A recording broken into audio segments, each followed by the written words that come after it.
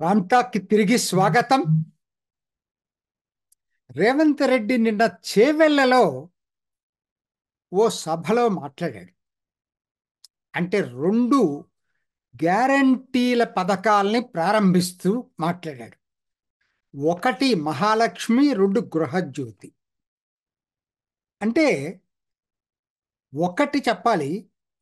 ఇది ఆరు గ్యారంటీల్లో ఈ రెండు అనే దానికన్నా కూడా ఒక గ్యారంటీలో ఉన్నటువంటి ఒకటి ఇంకో గ్యారంటీ. అంటే ఇది ఇంకా విపులంగా నేను చెప్తాను మీకు. ఇదొకటి. రెండవది ఏంటంటే తన ఆ సభలో ప్రభుత్వ కార్యక్రమం అయిన రాజకీయాలు మాట్లాడాడు. అది ఏంటంటే పాత పద్ధతుల్లోనే ముఖ్యమంత్రి అయ్యాడన్న సంగతి మర్చిపోయాడు. అంటే ఆ భాష అది చూస్తే ఒక తెలుగు రాష్ట్రానికి ప్రతినిధిగా మాట్లాడట్ల కేసీఆర్ ఇదే పనిచేశాడు అదివరకు ఇప్పుడు రేవంత్ రెడ్డి కూడా అదే చేస్తున్నాడు. ఇది రెండోది. మూడోది గుజరాత్ మోడల్ మేము చెయ్యము అని చెప్పుకొచ్చాడు. అసలు ఆ గుజరాత్ మోడల్ ఏంటి? ఈయనేం మాట్లాడాడో ఒక్కసారి దాని గురించి కూడా ఆలోచిద్దాం. కాబట్టి ఒక్కొక్కటి చూద్దామండి. ముందు ఆయన చెప్పిన మహాలక్ష్మి గృహజ్యోతి పథకాలను గురించి నేను మాట్లాడతా. మహాలక్ష్మిలో మీకు ఒక్కసారి గుర్తు చేసుకుంటే మూడు ఉన్నాయి సబ్ కేటగిరీస్. అన్నిటికన్నా ముఖ్యమైనది ప్రతి మహిళకి రెండు వేల ఐదు వందల రూపాయలు ప్రతి నెల ఇవ్వటం అనేది. అది ప్రధానమైంది. అంటే బడ్జెట్ రీత్యా ఉపశమనం రీత్యా అది ప్రధానమైంది. దాని గురించి మాట్లాడట్లే. కాబట్టి మహాలక్ష్మి పూర్తి కాల మొదట్లో ఏదో ఫ్రీ ట్రావెల్ ఆర్టీసీ బస్సు అన్నారు. ఇప్పుడేమో ఐదు వందల రూపాయల గ్యాస్ సిలిండర్ అన్నారు. అసలుది రెండు వేల ఐదు వందల రూపాయలది ఇంతవరకు టచ్ చేయలేదు మహాలక్ష్మిలో కాబట్టి అది అసంతృప్తే అసం అసంపూర్తి అసంతృప్తి అన్ను అసంపూర్తి. గృహ జ్యోతి మాత్రమే ఆరు గ్యారంటీల్లో ఒక గ్యారంటీ. దాన్ని అఫ్ కోర్స్ కండిషన్ సప్లై ఇది ప్రతి ప్రభుత్వం చేసే పనే ఇది.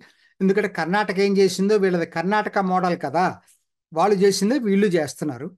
కాకపోతే ఫస్ట్ అసలు మహాలక్ష్మిలో ఇప్పుడు వాళ్ళు చెప్పిన ఐదు వందల రూపాయల గ్యాస్ సిలిండర్ అనేది అద్భుతంగా చాలా చెప్పుకుంటున్నారు బడ్జెట్ రీత్యా అదేం పెద్ద అమౌంట్ కాదు. ఎందుకంటే మోడీ ఇచ్చే ఎరువుల సబ్సిడీలో ఇన్ని అన్ని వీళ్ళు చెప్పినవి అన్నీ కవర్ అయిపోతాయి. ఒక్క ఎరువుల సబ్సిడీ చాలు. ఓకే అది రైతులకు సంబంధించి పక్కన పెట్టండి. ఇవాళ నేను చెప్పేది ఏంటంటే ఈ ఐదు వందల రూపాయల గ్యాస్ సిలిండర్ అంటే సుమారు ఇవాళ ఎంత? తొమ్మిది వందల యాభై రూపాయలు ఉందనుకున్నాం గ్యాస్ సిలిండర్ అంటే నాలుగు వందల యాభై రూపాయలు వీళ్ళు సబ్సిడీ ఇస్తారు దీనికి. అందులో ఉజ్వల గ్యాస్ సిలిండర్స్ ఉన్నారనుకోండి వాళ్ళకి మోడీ ప్రభుత్వమే మూడు వందల రూపాయలు ఇస్తూ ఉంది. అది మర్చిపోతున్నారు. అంటే వాళ్ళకి ఉజ్వల గ్యాస్ లబ్ధిదారు లబ్ధిదారులకి రేవంత్ రెడ్డి ఇచ్చేది నూట యాభై రూపాయలే. మూడు వందల రూపాయలు మోడీనే ఇస్తా ఉన్నాడు. సో కాబట్టి ఇది టామ్ టామ్ చేసినంత పెద్ద లబ్ధి ఏదో వస్తుందని అనుకుంటే నాకైతే అనిపించట్లేదు. బట్ ఏదైనా సరే ప్రామిస్ చేశారు కాబట్టి దాన్ని అమలు చేస్తున్నారో అంతవరకు ఆహ్వానిద్దాం. గృహజ్యోతి నేను ఊహించిందే. ఎందుకంటే రెండు వందల యూనిట్లకి ఫ్రీ కరెంట్ ఇవ్వటంలో కండిషన్స్ పెడతారని చెప్పి నేను ముందు నుంచి ఊహిస్తున్నా. ఎందుకనంటే అసలు ఆ డిస్కమ్స్ ఎంత దారుణంగా ఉన్నాయి. వీళ్ళు ప్రకటించిన శ్వేతపత్రం చూస్తేనే దాదాపుగా అరవై రెండు వేల కోట్ల చిల్లర నష్టాల్లో ఉంది డిస్కమ్ ఎనభై వేల కోట్ల పైగా అప్పుల్లో ఉంది. మరి అటువంటప్పుడు న్యాచురల్గా నేను I can't expect that conditions లేకుండా ఇస్తారని అనుకోను. నాకెందుకునో? దీనికన్నా మోడీ మోడల్ కర్ణాటక మోడల్ కన్నా కూడా మోడీ మోడల్ బాగుంది. మోడీ మోడల్ ఏమంటున్నాడంటే మీరు పెట్టుకోండి. అందరికీ వర్తిస్తుంది లేదని చెప్పలేను కానీ అంటే ఇల్లు ఉండాలి కదా. ఏంటంటే సోలార్ రూఫ్ వాళ్ళకి. కనీసం దీంతో పాటు దాన్ని అమలు చేయాలి. సైమల్టైనస్గా అమలు చేస్తే ఇక్కడ బడ్డం తొక్కుతుంది. వన్ టైం మెచర్ అది. సిక్స్టీ పర్సెంట్ కేంద్రమే ఇస్తుంది దానికి వన్ టైం ఇన్వెస్ట్మెంట్కి. సో మిగతా ఫార్టీ పర్సెంట్ కనుక రాష్ట్ర ప్రభుత్వం ఇచ్చిందనుకో ఎన్నో ఇళ్ళకి సోలార్ పంపులు సోలార్ విద్యుత్ వస్తుంది. వాళ్ళే ఇంకొకరికి సప్లై చేయగలరు. ఆదాయం వస్తుంది. అది మోడీ చెప్పేది. That is called Modi model ఉరికినే పంచటం కాదు. దాన్ని అక్కడ అది చాలా ఉపయోగపడుతుంది. అటువంటి మోడల్ అటువంటి మనకు నచ్చవు. సరే ఇప్పుడు ఇప్పటికైనా నా పాయింట్ ఏంటంటే అసలు ఈ గ్యారంటీలన్నీ అమలు చేయటం అనేది సాధ్యం కాదనేది నాకైతే అనిపిస్తుంది. ఎందుకంటే దాన్ని తిమ్మిని బమ్మిని చేసి ఏదో చేస్తారు తప్పితే ఇవన్నీ రుణమాఫీ ఎట చేస్తారండి వీళ్ళు? అసలు రుణమాఫీ కాన్సెప్ట్ కరెక్ట్ కాదు. ఎందుకంటే రుణమాఫీలో సన్న చిన్నకారు రైతులు కవరేజ్ తక్కువ అని చెప్పి అనేక రీసెర్చ్ సంస్థలు చెప్పినాయి.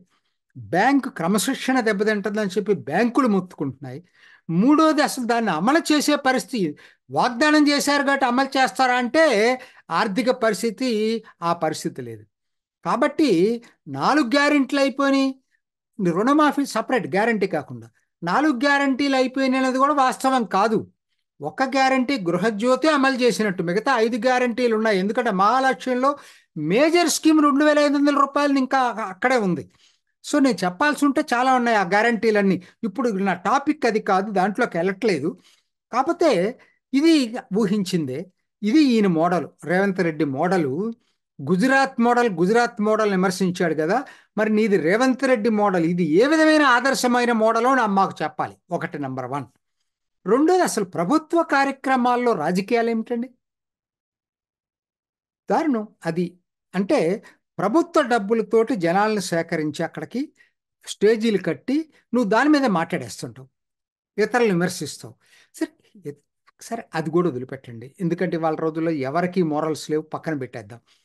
నువ్వు ముఖ్యమంత్రి అనే సంగతి మర్చిపోతే ఎట్లా రేవంత్ రెడ్డి గారు? మీరు కేసీఆర్ని విమర్శించి మీరు అదే బాటలో నడుస్తున్నారు ఇవాళ. ఏం చేస్తున్నారు మీరు? ఆ భాష ఏంటి?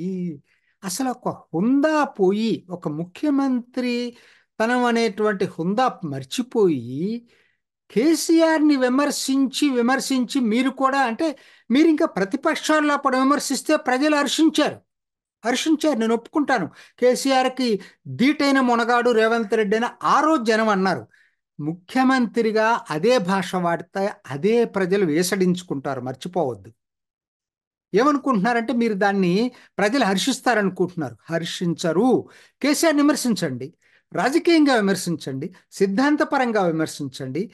కానీ ఆ భాష మాత్రం వాడదు అది కేసీఆర్నైనా ఇంకొకరినైనా ఒక మీరు ముఖ్యమంత్రి పదవిలో కూర్చున్నారు. తెలుగు తెలుగు ప్రజలందరికీ మీరు ప్రతినిధి.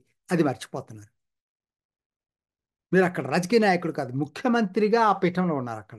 అది మర్చిపోతున్నారు. కాబట్టి బాధ్యత పెరిగింది మీకు.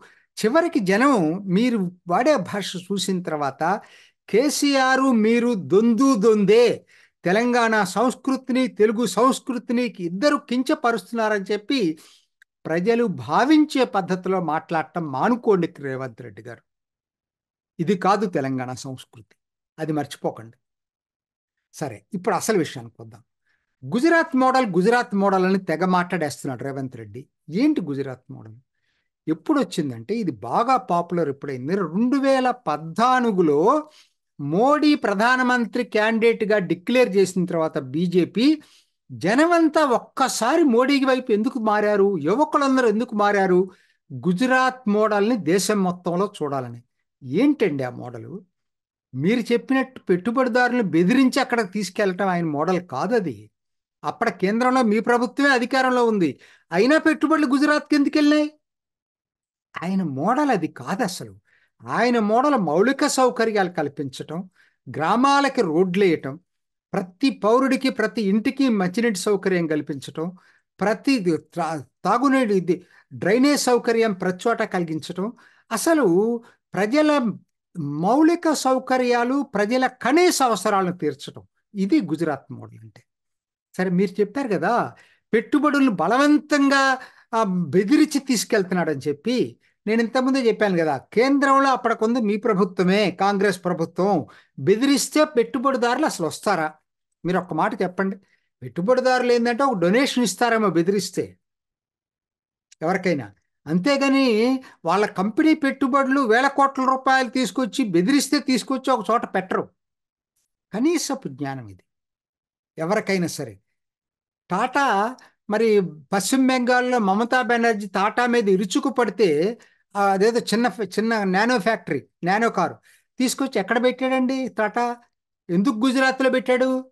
బెదిరించాడా మోడీ? ఆ రోజుకి ఆయన ప్రతిపక్షంలో ఉన్నాడు కదా ఆయన ముఖ్యమంత్రి అవ్వచ్చు.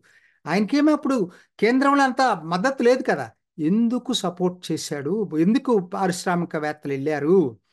కారణం ఒకటే. మీలాగా ప్రతిదానికి పదిహేను పర్సెంట్ ఇరవై పర్సెంట్ ముప్పై పర్సెంట్ కమిషన్ల కక్కుర్తి పడలేదు మోడీ. అది మర్చిపోతున్నారు. Modi is honest person. పార్టీకి డొనేషన్స్ తీసుకోవచ్చేమో కానీ కంపల్సరీగా పెట్టడు. ఏంటి? కంపెనీ ఖచ్చితంగా నాకు ఇంత లంచం ఇవ్వండి. కాంగ్రెస్ సంస్కృతే అది.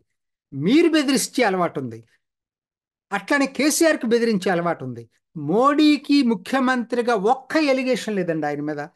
చిన్న ఎలిగేషన్ లేదు. పదమూడు సంవత్సరాలు ముఖ్యమంత్రిగా పనిచేశాడు ఆయన. ఏ రోజైనా ఎవరైనా ఏ పారిశ్రామికవేత్తనైనా బెదిరించినట్టు లంచం అడిగినట్టు ఎక్కడైనా గుండె మీద చేసుకొని మీరు చెప్పండి. రెండు వేల పద్నాలుగు గుజరాత్ మోడల్ వచ్చినప్పటికి మీరు తెలుగుదేశంలో ఉన్నారు ఆ రోజుకి. మీరు మోడీది మోడీది ఆ గొప్ప మోడల్ అనేది పొగిడారు. ఇవాళ మీరు కాంగ్రెస్ పంచన చేరేసరికి గుజరాత్ మోడల్ పెట్టుబడిదారులను బెదిరించే మోడల్గా మీకు కనపడతా ఉందా? రేవంత్ రెడ్డి ఇది మీ చాలా ప్రజలైతే హర్షించరు. మీరు చెప్పేది ప్రజలు హర్షిస్తారని నేనైతే అనుకోవట్లేదు. గుజరాత్ మోడల్ నచ్చింది కాబట్టే తిరిగి తిరిగి తిరిగి తిరిగి గుజరాత్లో బీజేపీని ఎన్నుకుంటున్నారు. గుజరాత్ మోడల్ నచ్చింది కాబట్టే ఇప్పటికి రెండుసార్లు మోడీని కేంద్రంలో ఎన్నుకున్నారు మూడోసారి ఎన్నుకోబోతున్నారు. సో కాబట్టి మీరు చెప్పిన గోబెల్స్ ప్రచారం చేసి అబద్ధాలు చాలా చెప్పారు దాంట్లో. అవన్నీ చెప్పడానికి కూడా నాకు మనస్కరించట్లా. ఎందుకంటే మోడీకి ఏం అంటావు. మీరు చెప్పినవన్నీ ఏమి అంటావు అనమాట కాబట్టి అలా గోబెల్స్ ప్రచారం చేసినంత మాత్రాన మోడీ నీ మోడీ చొ చొక్కా మీద కూడా మరక కూడా మీ వలన అంటదు. అది మర్చిపోదు చివరిగా ఇంకొకటి చెప్పారండి. కేసీఆర్ మోడీ చీకట్లో కలుస్తారట. ఏం మాట్లాడతారండి? ఆ భాష ఏంటి? మోడీ కరెక్టే కేసీఆర్ మోడీ ఒక మూమెంట్లో కలిసి ఉన్న మాట నిజమే. నేను కాదంటలేదు పార్లమెంట్లో కూడా ఆయన చేశారు. కానీ మీరు దాన్ని ఇవ్వాలో ఆడుతున్నారు. రెండు సంవత్సరాలు అయింది. కేసీఆర్ పో రెండు మూడు సంవత్సరాలు అయింది. కేసీఆర్ మోడీకి దూరంగా జరిగి మీరు కోట్ చేసేయని అంతకుముందు. దూరంగా జరి జరిగిన తర్వాత ఆయన ఎప్పుడు మోడీతో కలిసినట్లేదే? మోడీ ఎప్పుడు కేసీఆర్తో కలిసినట్లేదే? ఒక్క ఉదాహరణ చెప్పండి. కలిసింది మీతోటి కేసీఆర్. పార్లమెంట్లో భుజాలు భుజాలు మీ కేశవరావు మీ కేశవరావు రాహుల్ గాంధీ ఒక పక్కన కూర్చొని పార్లమెంట్లో మాట్లాడుకున్న సంఘటనలు. అట్లానే మల్లికార్జున ఇంటి దగ్గర కేశవరావు వెళ్ళి మాట్లాడిన సంఘటనలు. రాహుల్ గాంధీ తోటి పార్లమెంట్లో బీఆర్ఎస్ వాళ్ళు వెళ్ళి మాట్లాడిన సంఘటనలు. ఇవన్నీ చాలా కోకొల్లలు. కాబట్టి ఏదన్నా అటువంటిది ఏదైనా జరుగుంటే మీతో జరుగుతుంది. కానీ గత రెండు మూడు సంవత్సరాల నుంచి బి బీఆర్ఎస్ బీజేపీ కలిసి ఉన్నాయనేటువంటి అబద్ధ ప్రచారం నిజం కాదు రేవంత్ రెడ్డి గారు. పోయినసారంటే కేసీఆర్ను దించే దీంట్లో మీరైతే దించుతారనేటువంటిది ఆ భ్రమల్లో పడిపోయి జనం మీకు ఓటేశారేమో కానీ కానీ ఇవాళ కూడా అదే ప్రచారం మీరు చేస్తే జనం నమ్మే పరిస్థితుల్లో లేరనేది మాత్రం ఖచ్చితంగా మీరు తెలుసుకోవాల్సిన అవసరం ఉంది. ఏది ఏమైనా ముఖ్యమంత్రి అయిన తర్వాత కూడా ఇటువంటి పద్ధతుల్లో మీరు మాట్లాడటం ముఖ్యంగా మీ భాష మీ వ్యవహార శైలి మార్చుకొని ముఖ్యమంత్రి పదవికి హుందా తీసుకొస్తారని ఆశిస్తున్నా. ఇది నాటి రామ్ టాక్. ఇంకొక ఎపిసోడ్లో మళ్ళీ కలుసుకుందాం. నమస్తే. చూసారు కదండి. మరి ఈ వీడియో కనుక మీకు నచ్చినట్లయితే ఒక లైక్ కొట్టేసి మీ అభిప్రాయాన్ని కూడా కామెంట్ బాక్స్లో తెలియజేస్తూ ఇలాంటి ఇంట్రెస్టింగ్ అప్డేట్స్ కోసం మా ఛానల్ని సబ్స్క్రైబ్ చేసుకోండి.